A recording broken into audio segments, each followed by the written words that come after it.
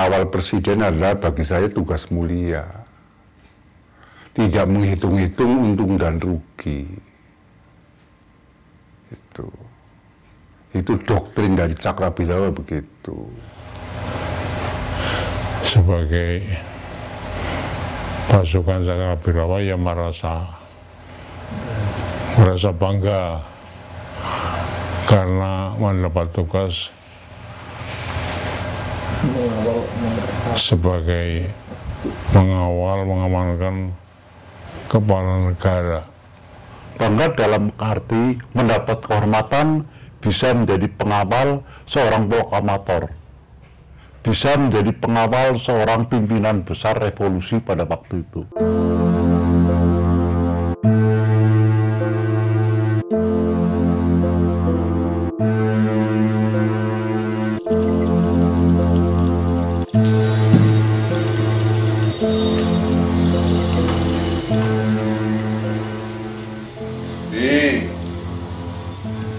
Bendera revolusi ini.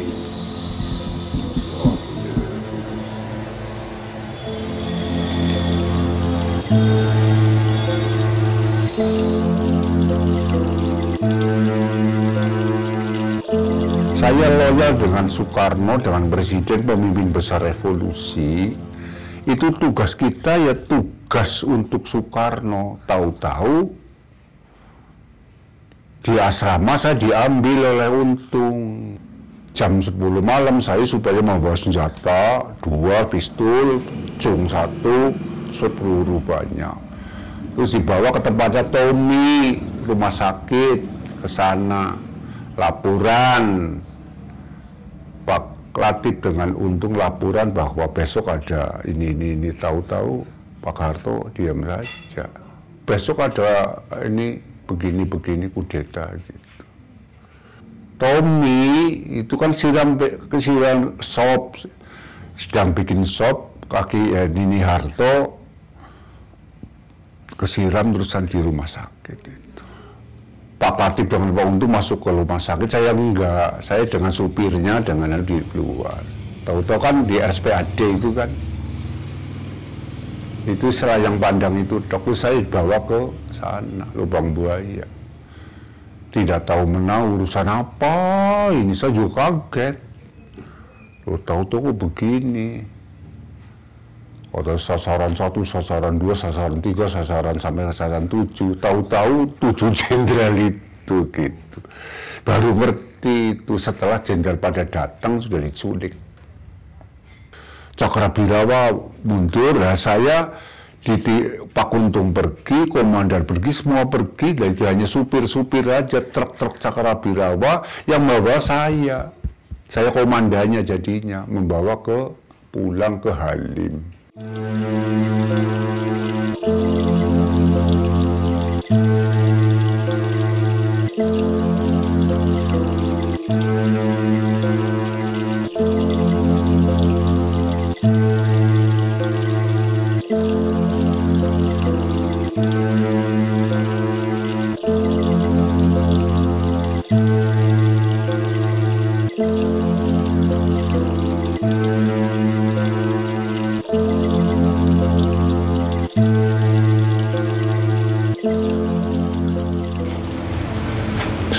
ditugaskan untuk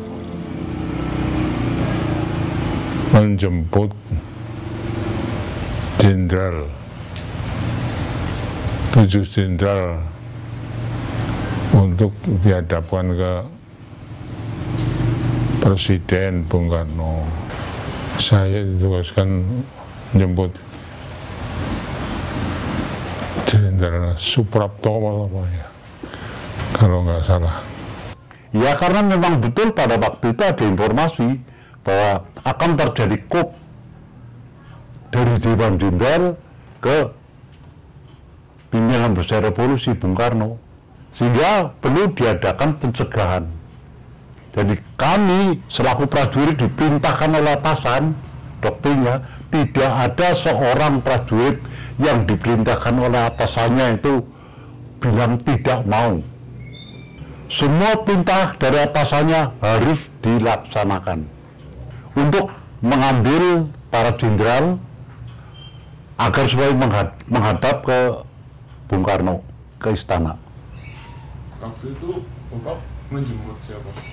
Mas Sution, setelah kita ketuk pintu, kita buka, ternyata Pak Mas lari sebelum bisa kami bisa bicara, beliau sudah lari dari kamarnya, loncat lewat jendela. Berarti apa yang mau dilakukan oleh uh, Pak Nas itu menurut pengertian para prajurit ya benar mereka bangun terhadap perintah. Padahal Bung Karno itu kan panglima tertinggi.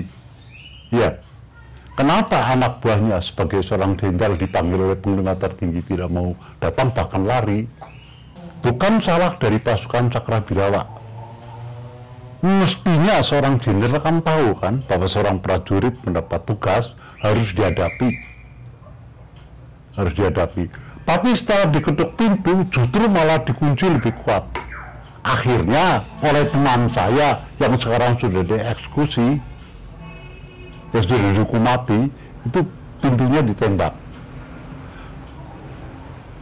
Penembakan pintu itu barangkali barangkali menurut perhitungan logika yang anu saja yang pasti.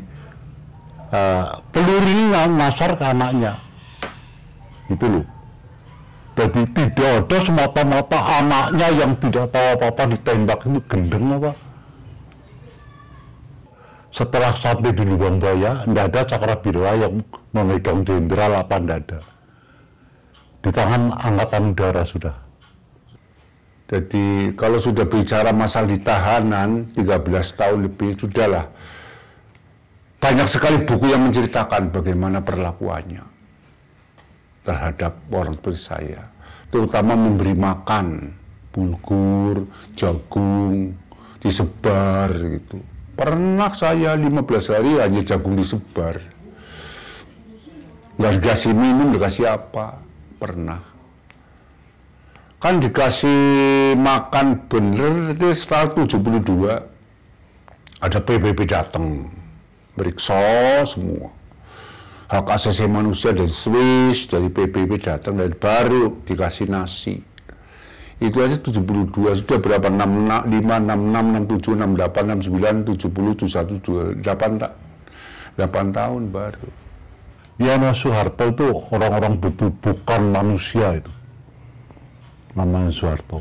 Memperlakukan kita itu lebih daripada anak anjing kiri kalau bahasa sininya.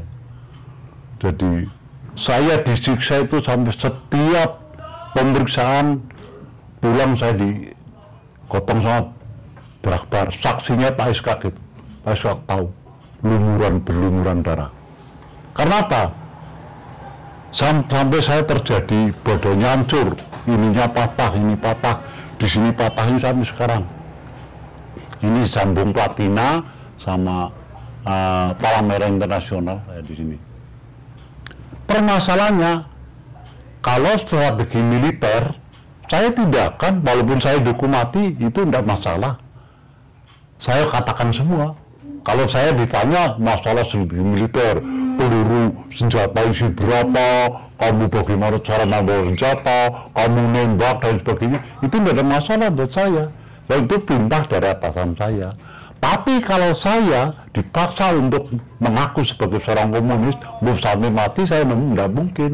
Sebab memang saya tidak ngerti masalah komunis. Karena begitu saya masuk ke Mahkamah Militer Kodam, situ proses apa namanya mobil artinya setiap sore siang apa tuh diperiksa terus.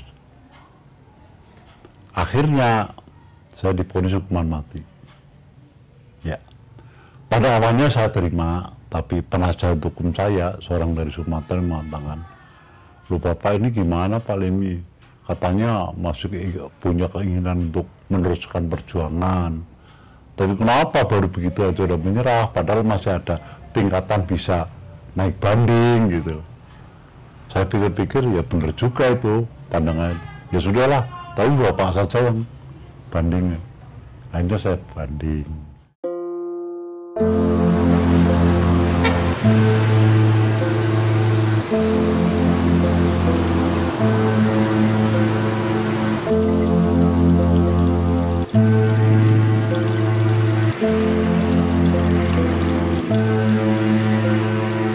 Saya dulu kawin di lima bulan, Mas. Istri saya mengandung satu bulan. Saya ditahan 13 tahun. Ya bojo ucul, bondo mawut, pangkat minggat. Iya kan? Begitu aku pulang, anak saya sudah 13 tahun umurnya. Begitu. Anak saya sudah takut. Orang bondo seperak baru ada duit. Gitu. Apa sih? Bondo nggak punya, pangkat nggak punya, hanya nyawa. Modalnya saya hanya nyawa. Ya mungkin yang menimbulkan saya stroke begitu itu. Banyak sekali pikiran-pikiran yang memikirkan soal tugas dianggap salah. Setelah itu istri berbuat begitu. Jadi saya pendam saja, tapi kan nggak kuat akhirnya nah, saya pulang langsung terus ke Purbalingga saya kawin dengan ini. Ini juga suaminya dulu militer. Nah, saya kawin dengan ini janda sudah.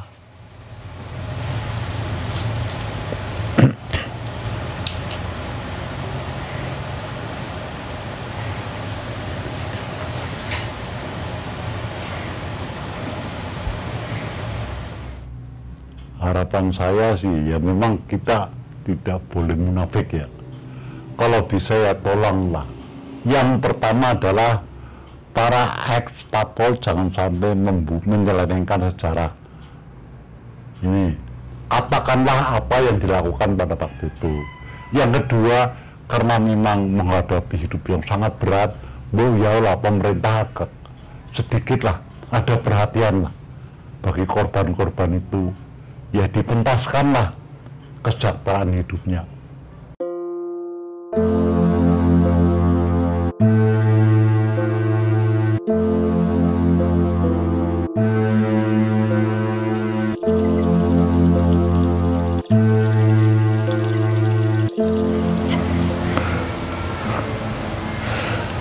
hanya harapan saja pada waktu itu saya setelah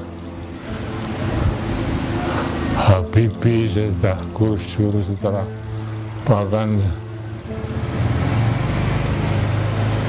anaknya sendiri Bung Karno Megawati saya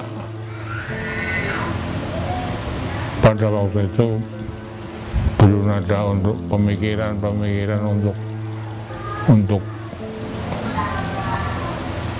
untuk mendapatkan